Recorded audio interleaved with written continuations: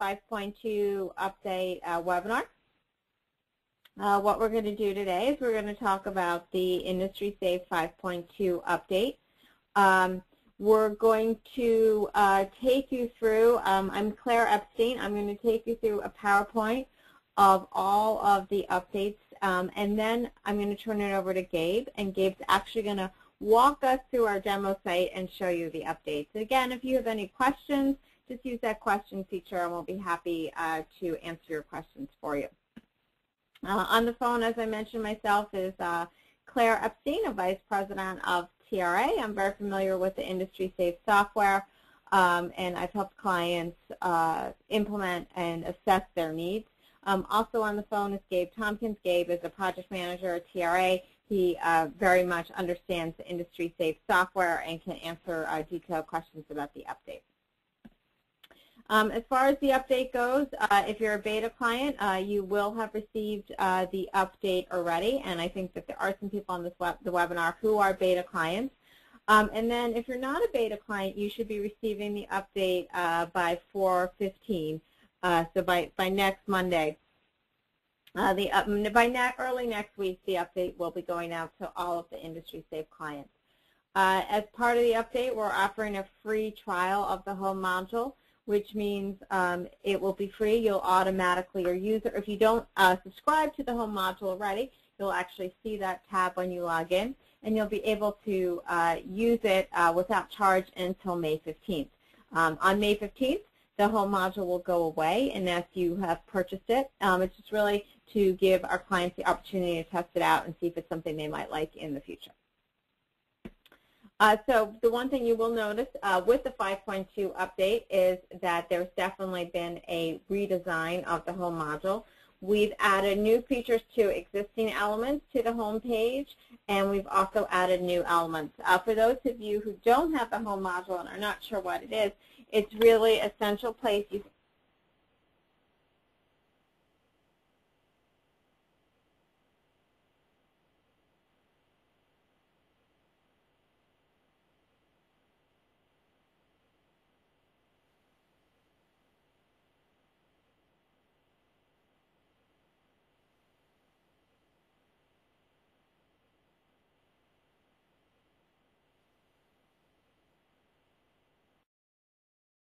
um, look at a record. Um, you'll always be able to see what records you looked on you looked at previously, and then this is actually a hyperlink, so you can click on this hyperlink and it'll take you back to the record. You'll also see in the home module a status of uh, open items, um, and uh, at the to appear as the status of an open item, the, the status of the record has to equal open. So it's a corrective action with an open status, it's an in inspection with an open status, uh, claims with an open status, or incidents with an open status. And there is some color coding. Uh, so if you don't have any open items, it's going to show up as green. If you have just a couple, it'll be yellow. And then if you have a lot of open items, it will show up as red. And these are just particular to you as the end user. This is just showing me, for example, Claire Epstein's open items. And again, I can click on this hyperlink and it'll take me, I can click on this number and it will take me to my open item. Um, another piece of the home module uh, that's been added is there's now a bubble chart that lets you see at a glance all of the company activity within your organization. Uh, so this is telling you uh, the bigger the bubble is, the more activity there has been. So this is saying that there's been a lot of inspections. And the higher up the, bu uh, the bubble is in the chart is how many locations that activity is occurring at. So it's a nice global way that lets you see uh, your uh, company activity. And again, it has drill down capability. If you select the bubble, it'll take you to those, those records um, again, only allowing you to see what you have privileges to. So this is a global. This will show you everything that's going on globally. It's possible that when you click on inspections, you only have access for certain locations, and then you may not see all of the records. Um, there's also the ability, there's this master add button. All of the uh, modules have the add feature um, in the top, the add button in the top left corner. Uh, now from the home module, you can really add um, any any type of record. Uh, so you don't have to go to that module to add it. You can just start from the home module. And the other piece is that the home module includes the document library. And previously, um, to post documents uh, and store them in the document library, you had to be a um, administrator. And now um, anyone who has access uh, to the document library can post documents there. There's also the ability uh, to see um, new features, uh, sorry, to see all of tasks and events in the summary screen. Previously, it was kind of difficult to see the, it was difficult to see the tasks and events of others in your organization. Now you can navigate uh, using the top navigation in the home module to the task summary and event summary so you can see everything that's going on in your organization, assuming, of course, you have the appropriate permissions. Um, okay, um, that's uh, the quick overview of uh, the home module redesign. Uh, some other changes that we have is we have a summary screen. Um, the summary screens now include multi-select features. So previously, before, when you had a drop-down uh, in the summary screen, you could really only pick uh, one option or all of the options. Now this really gives you the ability to do multi-select. Uh, so for example, if you have multiple, if you have five regions and you want to look at your data for two of your five regions, you just go in and you uh, check mark the regions you want to see, and the summary screens will show you just those, just those uh, two out of the five regions, for example. This is available on all summary screens, and it's really available for all fields that um, were a uh, more than a yes/no dropdown. You'll be able to have this capability. All right. Uh, the other big piece that was done is we've really improved our reporting features. Uh, we have heard from our clients uh, over the years that they definitely want uh, improved uh, reporting, the ability to have more um, reports that generate more quickly and on the fly, and also the ability to really configure and customize reports. And this um, this is really the start that allows you to do it, to do this. We've rolled it out with the incident log, and we will be rolling it out to other modules um, in the release after this. Uh, so there are lots of features in this incident log analysis. I'm going to go through them very quickly. Uh, Gabe will also go through them. We'll have separate webinars to go through some of these details. And again, if folks have questions, they can always set up a time with one of uh, someone on the IndustrySafe team uh, to show you this in a little bit more detail. Um, so the incident log uh, has uh, a series of advanced features. It has the ability to export, and it has some header components. And again, to see this, you just uh, go to where you would normally go for the incident log, and you're going to see this whole, whole new screen instead. Um, so some of the things you can do in the header, uh, it, the header components of the incident log is you can refresh the data automatically by clicking refresh. That'll update it in real time. You can uh, save uh, the data.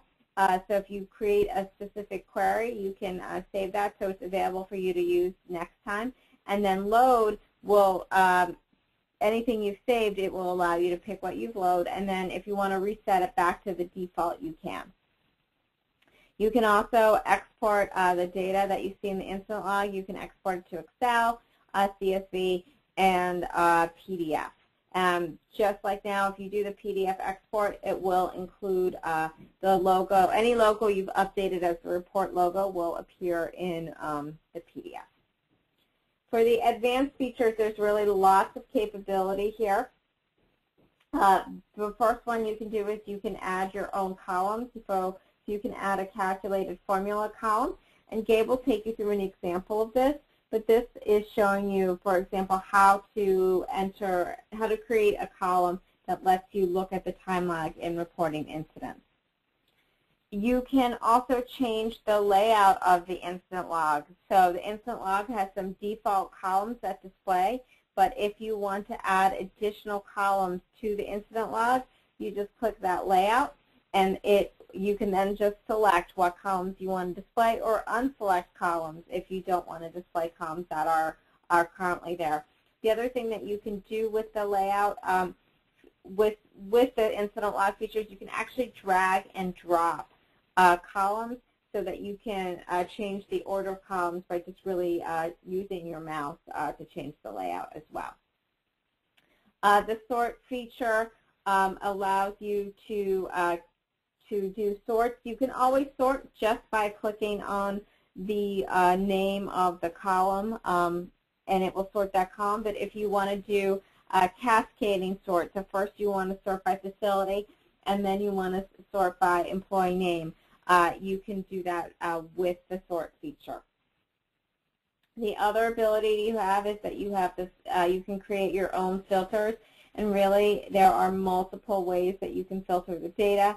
If you wanted to see data for the past 30 days, if I want to see data for the last quarter, or if I just want to see data at a certain facility or with a certain incident type, this really gives you the ability to create your own filters and do that. You can also group data if you want to look at all data by a certain facility or by a certain department by facility, it allows you to do that. You can also uh, count uh, data. Uh, so I want to see this is showing me for each facility how many incidents I have at each facility, as well as the incident total. Uh, one of my favorite features of this is you can create your own charts. Uh, so for example, I wanted to see uh, my the count of my incidents by facility, which facilities have the most incidents. I can create my chart. I can choose what kind of chart I want to display. And then I can hit this Add to Dashboard button, and I can actually add that chart to the dashboard. Um, and then there's also a cross uh, tab or pivot table that you can create as well.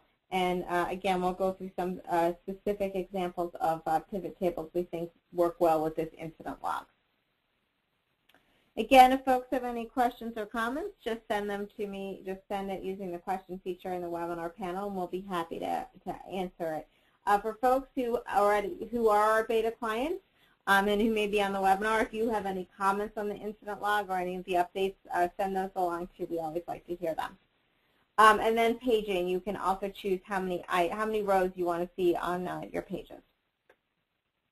We've also updated the dashboard so it has a little bit more of a look, a new look and feel. You'll notice that um, the dashboards themselves have a different color scheme, and then the tabs within the dashboards also look different as well. We've also updated the default tabs, uh, just so if you are using those default settings, you'll be able to. Uh, we've sort of cleaned up what what we think uh, the defaults should be. There are also some other updates uh, to the software that we've made. Uh, one is there's now advanced uh, email notification tracking uh, for emails that you send within IndustrySafe. So not the automatic emails, but the ones where you actually hit the send email button. There's now more tracking on uh, what the message, uh, the date and time, and any message you added. Uh, you'll be able to see that better. There's also a new um, email alert. If you close a hazard, you can now send out automatic email notifications and for folks that are using the claims module, there's now a uh, claims payment log as well. There are lots of resources uh, for 5.2. We'll go over this again at the end of the webinar, um, but uh, please don't be shy about contacting us with questions. All right, any uh, questions or comments from anyone in the group before I turn it over to Gabe? And Gabe's actually going to walk us through the updates um, on our demo site. Okay, I'm going to share my screen. Uh, I'm going to take you into our demo site. Uh, the site will look a little bit different than um, your actual site just because it hasn't, you know, you, have customized your site or configured it. Um, but all the features that I show you today, you will have access to. Um, the first piece, as we mentioned, is the uh, the calendar, or the sorry, the home module. And within there, we've made a lot of different uh, updates. We, you know, updated the style so it looks much better. Um, we've, you know, rearranged how tasks and events are displayed. We've updated the calendar. Here you can see the, the green date is today's date, and anything we've had an event is in orange. You can now click these View All buttons to actually view a list of all tasks or events. Um, previously, you could only see the ones assigned to you. Now, assuming you have the right permissions, you can see tasks and events for all users. Uh, and again, we have that for both tasks and events. In addition, This new add button within the home module allows you to add any type of record. Um, so if you did want to add a task or event uh, from here, you could do it. You could also add an incident, a hazard, an observation. Uh, we've also added the ability to add to the document library right from the home module. And it works just like all the others. You just click the add button and it takes you to that location.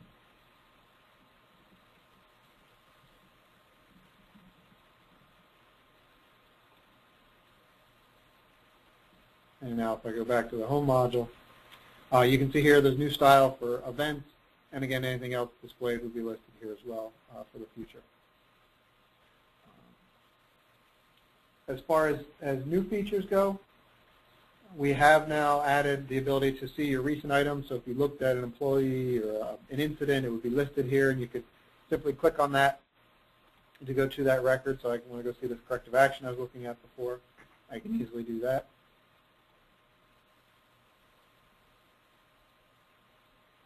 Uh, it gives you your company activity for the last 30 days, so you can see here there have been uh, a lot of inspections. Uh, there have been 61 inspections at 13 locations. And again, the bigger the bubble, the more records were added, and the higher up it is, the more locations um, it was added to. And again, you can hover over those, and you can click on an individual bubble to actually go to that module and see those records. Uh, assuming you do have permission to see them, then, then it'll bring up that related summary screen.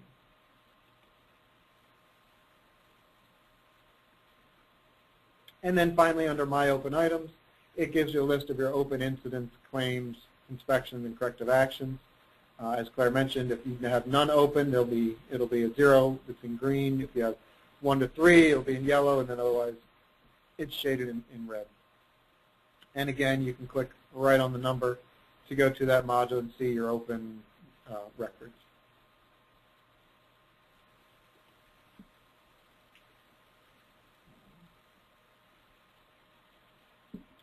Any questions about the new home module? Okay, for those of you who are not familiar with it, um, it does also include under documents the ability to uh, see a document library, which is a list of all the doc of um, documents that you can provide to end users. You can upload any type of document, really just sort of resources for users. And then also within there, there's a supporting document summary that lists all of the supporting documents for all the records that you have access to, and it tells you what record it was it's linked to and things like that. Again, as Claire mentioned, everyone will have access to the home module uh, until May 15th. Uh, if you want to keep it past there, just notify us. Otherwise, uh, we'll turn it off on, on May 15th. Okay, moving on to the, the next big update is the summary screens and the ability to do multi-select filtering. So now if you click the search search icon here on the summary screen, you'll see for a lot of most of the, the drop downs before where you could only select one value, now you can look at, at one or more and you simply check off the ones you want to see and then click search. If you want to look at all the incidents at two out of your four facilities or something like that, you could easily do that. Um, again, the same thing goes, say you just want to look at your uh, incidents that are not complete. You can do that. Uh, and the only ones we haven't changed are the ones where there's really two, only two options. So you're either looking at everything or just the open or closed ones.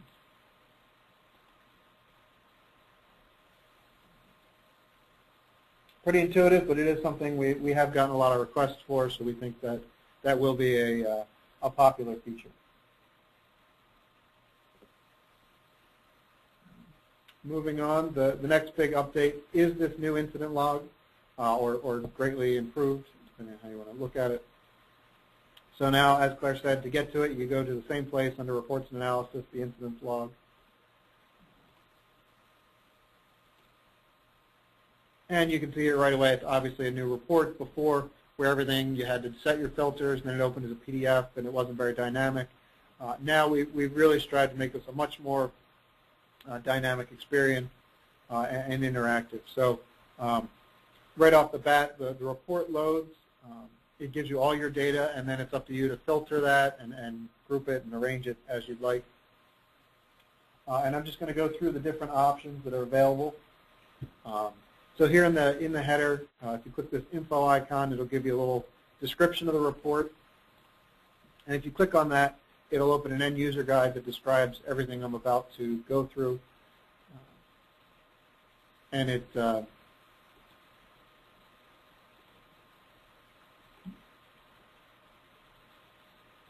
you can also uh, refresh the data, which just refreshes it. You can, once you've arranged and configured your uh, incident log, you can save it so that you can load it, you know, bring back previous ones you've had. So if I click this load, you can see here I have this 90-day incident history. I can click on that, and it's going to bring back an analysis grid that I've configured. And then you can also reset to go back to the default. Also down here we have options to uh, export records to Excel. So if you click that Excel icon, it will ask you to open the Excel file.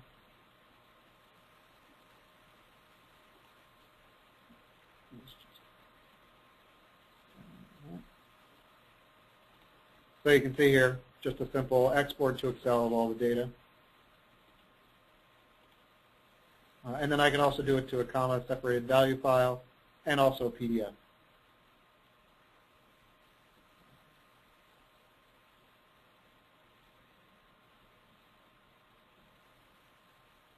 And again, in the PDF, it's a fairly straightforward uh, PDF, but then you can use this to export it, send it to Word or Excel, or print it out uh, or email it. I go back. Um, there's a, a, couple different, or a lot of different features or, or, functions that are available here through these these different buttons, and I'm just going to go through those one by one. Um, so if I click the formula button, it allows me to specify or add a new column with the formula. Um, and I'm just going to use a, a, sample that we came up with, which is the, uh, the time lag in reporting an incident. So if we want to say,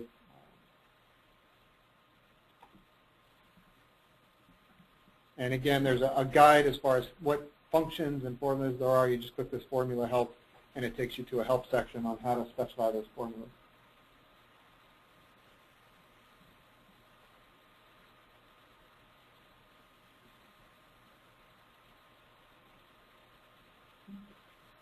The date of the incident. And then I'm going to compare that to the uh, date reported.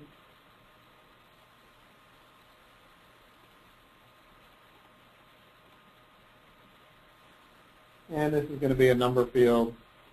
Uh, and for number format, I'm just going to choose this first option here. And then once you're done creating your formula, you need to give it a, a name.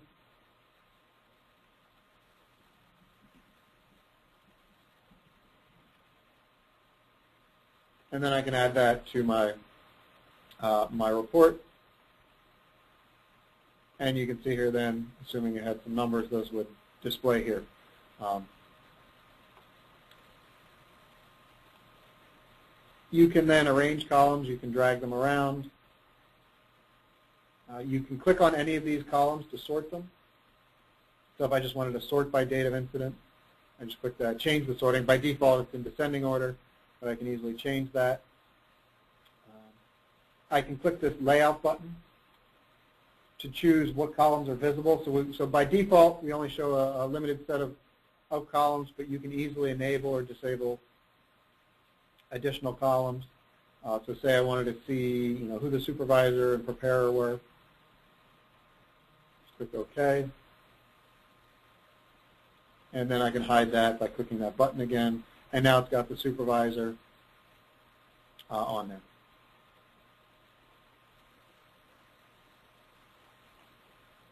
The next thing I can do is I can sort records uh, in addition to clicking on column headings. I can choose to sort by uh, multiple columns. So if I want to sort by facility and then date of incident, uh, you just choose the, the, field you want to sort on, choose the direction, and then click Add. And then you can easily, you know, you wanted to remove something, you can remove those as well. If you want to add a filter, you click the filter button. Um, so right now we're just looking at incidents within the last 90 days. Say I wanted to change that to, um, or add to that anything that where a specific facility was involved. I'm going to look at 111 Main, and if I also want to look um, anything involved in two different facilities.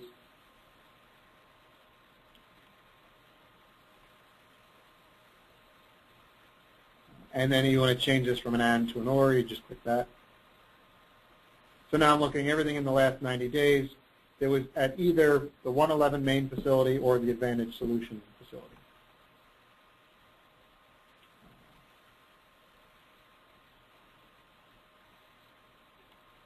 You can also add groupings. So if you click the grouping, you could group by, say we wanted to group by facility. You can easily do that. And then you wanted to add a secondary, you wanted to group by um, department. You could do that as well.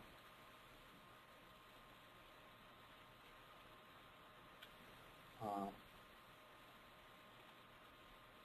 you can add aggregates. So, so you want an account of total incidents.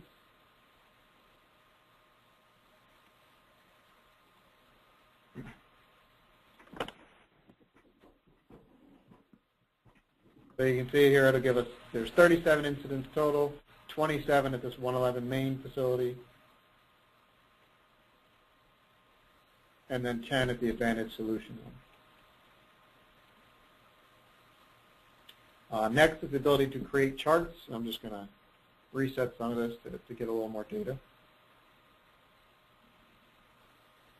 So now if I click the chart button, um, you can add any type of, any of these chart types. So I'll just show you two examples. Say you want to look at uh, report status. And so we're going to do a pie chart, and we're just going to count the number of incidents.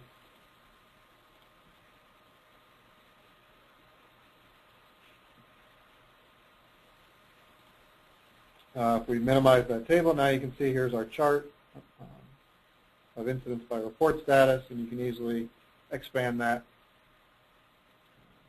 And then say I also want to look at a line chart of incidents reported by month. So I'm going to look at date of incident, uh, let's say quarter,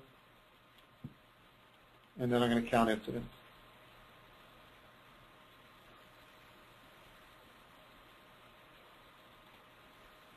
And again, I minimize that table. And so now there's my other chart, and here's the number of incidents uh, that occurred each month. Um, also, with these charts that we've created, there's the ability to add them to the dashboard. So you just click Add to Dashboard, um, put in a title, a description,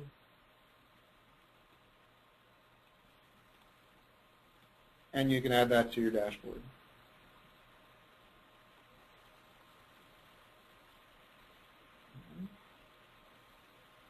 Another option here is to create a crosstab or um, a crosstab table. Uh, so you're going to select your column header. So I'm going to go with uh, incident type. And label values will go with um, worker type. And then we're going to count incidents.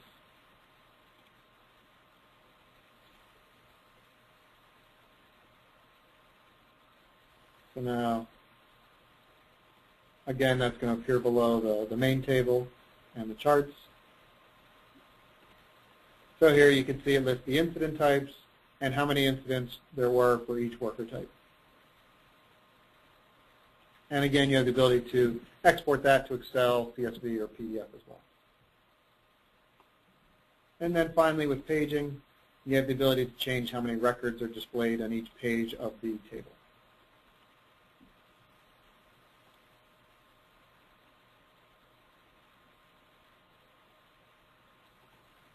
And so now I'll get a lot more records here.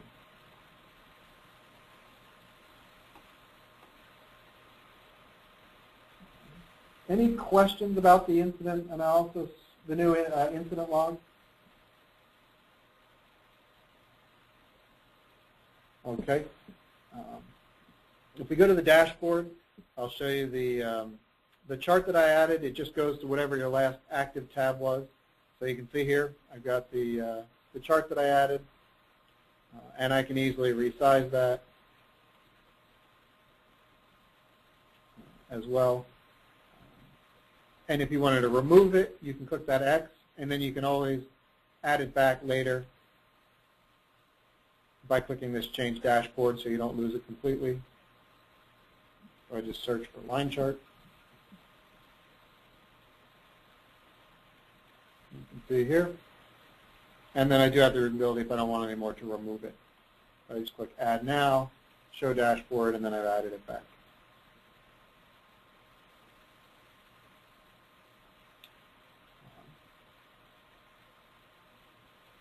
Okay. Um, and then you'll also notice when you log in that the style of the dashboard has been updated. It looks a little bit cleaner. The, the color scheme has changed a little bit. Um, things like that. The next feature I'll show you, we have a couple other um, smaller updates. Uh, we've added the ability to do some advanced tracking with uh, email notifications. So that's when you uh, go to any, any recording form, any of the modules, and you click that e send email button. Now at the bottom um, where it lists, before it lists who it was sent to, now it lists who sent the email,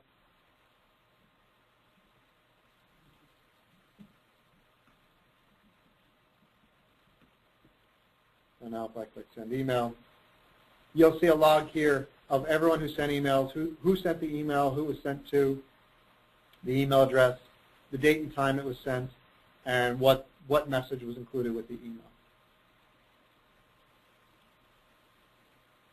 And again, that's available for all the modules and all the forms. Uh, we also have a new alert that's sent when a hazard is closed. Uh, so when the hazard is closed, the person who reported it is sent an email back notifying them that it's been closed um, and things like that, just an informative thing. And then finally, we have a new claims payment log.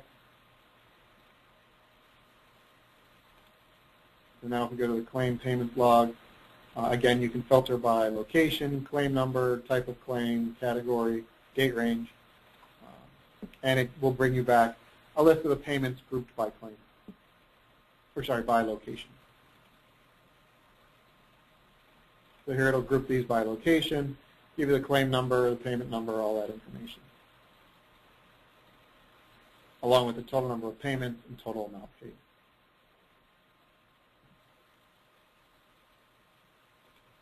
So those are all of the new features that are included in this release. Uh, if you don't have the 5.2 update yet, uh, you'll get it next week, and you will see a uh, pop-up when you first log in after your site's been updated, notifying you of the update. Uh, it'll have a link in it to the um, the uh, release notes that that contain all the information that we just reviewed along with a link to the PowerPoint slide. And also if you go to System Functions up here, you can always click on the IndustrySafe 5.2 release notes uh, to view those as well. And again, these cover all the things we just talked about. There is uh, also a link to the PowerPoint that, that Claire showed you, and links to um, view the recordings of the webinars that we've conducted so far. So you simply click on those links if you wanted to send this to someone else or review uh, the webinar we had today.